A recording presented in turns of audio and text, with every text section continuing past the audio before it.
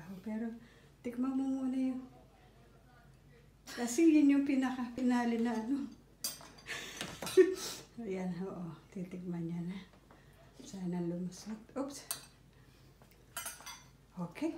Sarap daw. Ayan ang itlog. Lemon ho. Imbes na kalamansi, di ba? Sa Pilipinas. Pero lemon dito. Wala kami taning kalamansi. Wait, are you gonna post me on YouTube? Yeah, of course. No. Ikaw ang pinali. Ang, mo ang tsura ko. Ikaw ang pinali.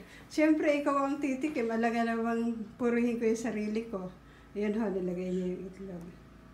O, ayun. Ayan ho. Okay? I-edit niya ho ito. Hindi ko ho alam mag-edit. Kasi, paano-ano yung aking video. But anyway, matututo din ho ako in the future. Okay? Yung husband ko, pinatitignan ko, sabi sagot, I'm still full. I'm not hungry, Josie. Okay, bye-bye.